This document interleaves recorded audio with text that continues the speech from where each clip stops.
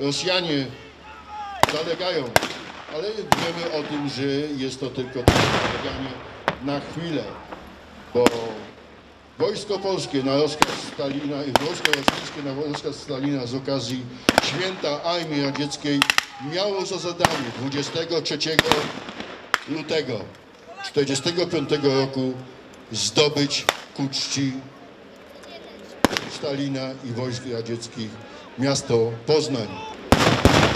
Żołnierze, którzy się wycofują niemieccy, widzimy teraz dokładnie jak, jak obsługa enigmy tego tajnego y, środka łączności wojsk niemieckich, którzy zostały opanowane i rozpracowane przez y, polskich naukowców, będzie zniszczona. Następuje gwałtowny atak wojsk niemieckich. Mamy ostrzał moździerzy. Niemcy w pochpłochu wycofują się na swoje mocne linie obronne, aby nie dopuścić do przekazania urządzenia Enigma w ręce.